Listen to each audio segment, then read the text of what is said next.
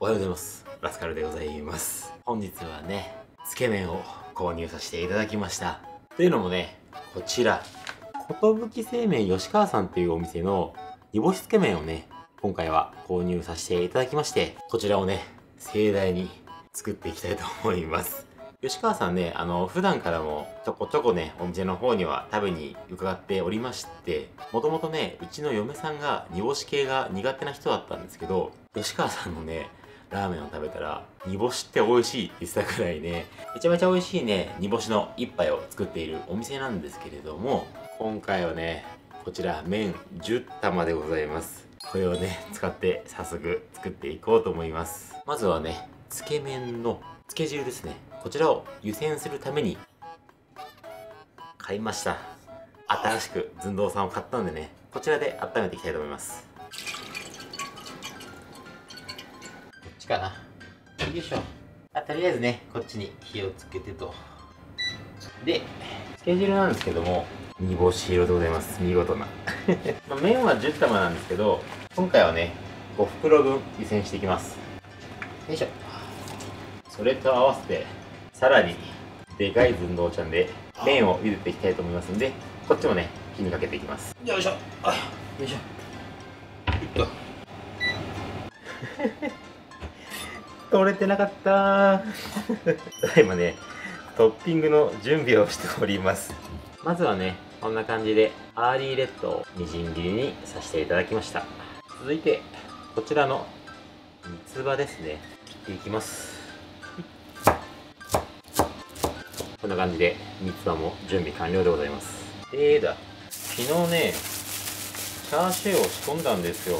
低温チャーシューなんですけどこっちがバラとこっちが肩ロースかなの2種でございます。ちょっとね冷蔵庫に入れてたんで油が固まっておりますので湯煎と一緒にね温めていきたいと思います。ただまずはこちらが肩ロース。白だしがメインで味付けをしております。でこっちがバラと。これはね、まあ、醤油と砂糖と角煮に近いような味付けとなっております。薄切りめに。あ肉切り包丁じゃないじゃんこれ。包丁間違えた。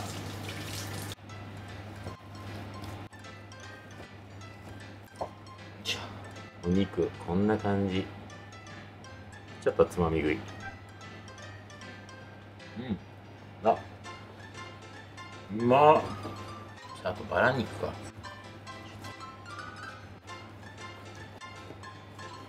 いしょ。端っこは。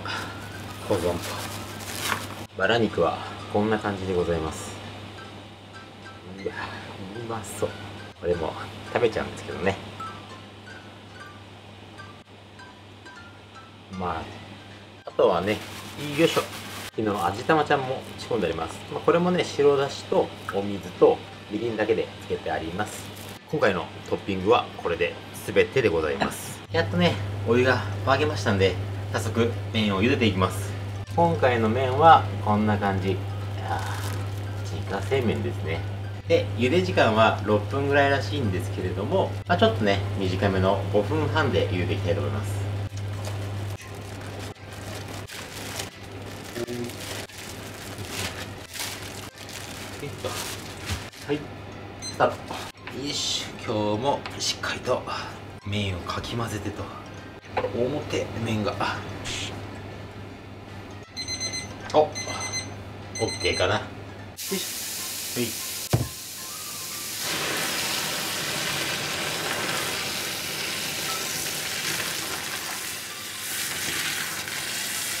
はい。しっかりと麺を締めていきたいと思います。よし。OK そしたら盛り付けに移りたいと思います。アーリーレッド。真ん中に。チャーシューを。うんこっちの方がいいななんとなく。で最後に味玉か。こちらで麺丼は完成でございます。次はつけ汁と。熱々。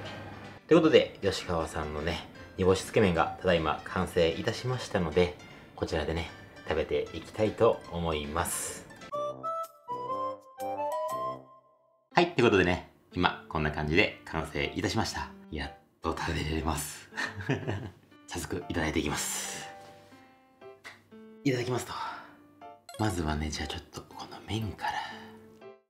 見えるかな？こんな感じ。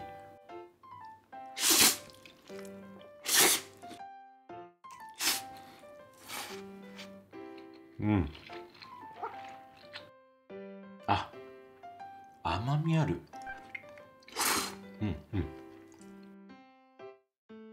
ちょっとつけ汁。よつけ汁もと。あー煮干し。煮干し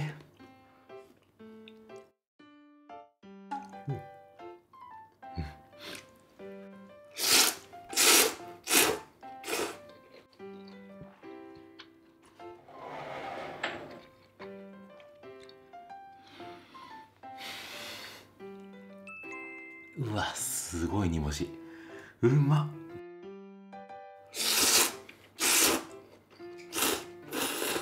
うん。煮干し独特の光り物臭さっていうのかな。ああいう香りはすごく丁寧に作られているのであのもちろん煮干しなのでないってわけじゃないんですけど全然嫌味じゃないぐらいすごい綺麗に収まってる。うん。うわ。これいくらでも食べられるわ。ちょっと玉ねぎと。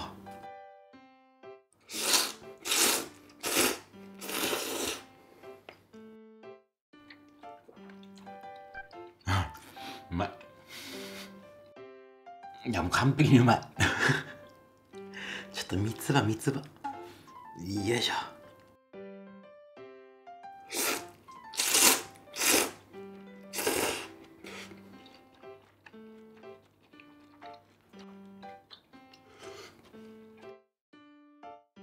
うん、うめ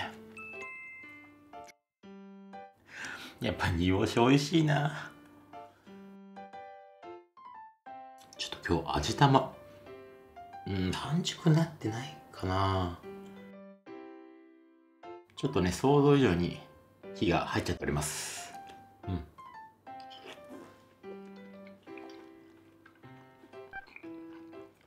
まあ。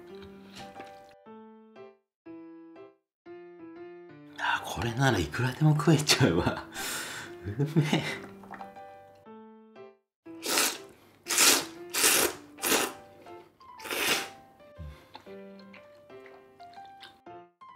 ちなみに皆さん煮干しとかって好きですか？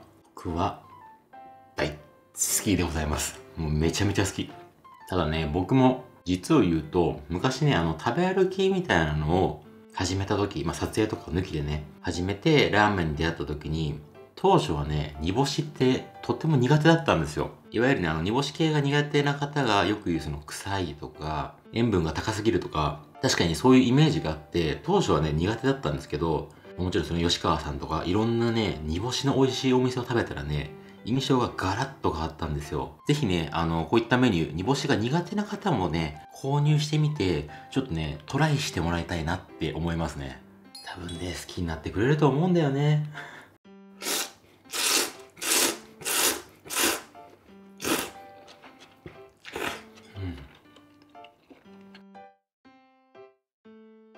うん。うん。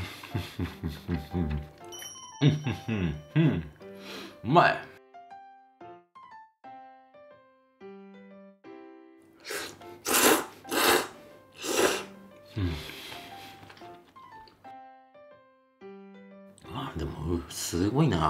煮干しってその香りの酸化するスピード劣化するスピードがとても速くてすぐね時間経つと香りが抜けちゃうんですけどこれに関してはねもう全然抜けてない。もうゴリゴリの煮干し。うまい。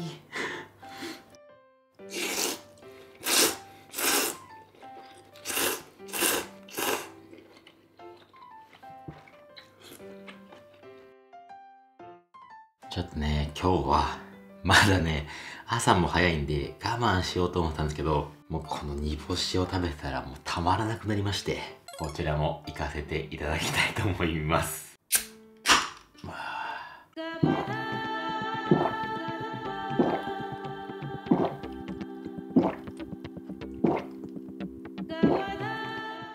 高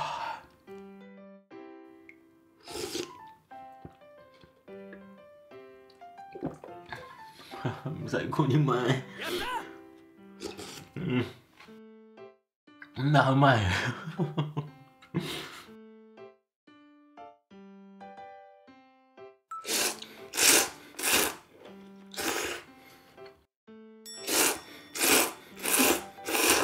うんな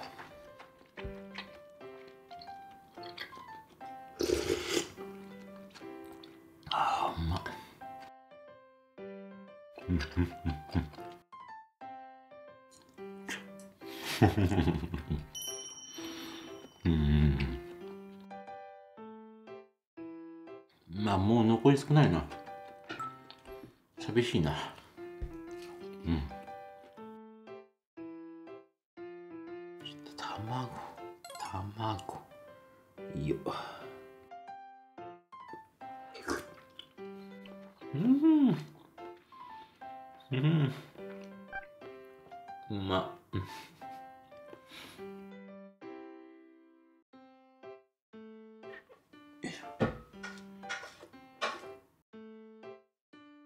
はいこっちはからでございますはいということでこちらが最後の一口でございます